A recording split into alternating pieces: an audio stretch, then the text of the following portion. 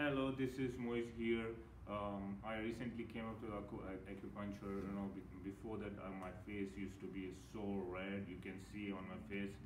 Uh, the first day when I came up here, it was so red, and my back pain was so horrible. I'm glad, like, like after like one or two sessions, my face and my back pain, even my body pain, so it's totally relief.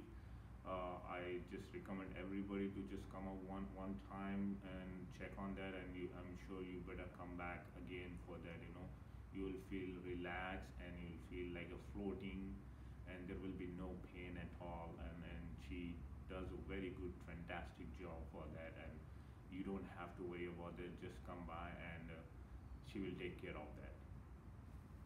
Thank you.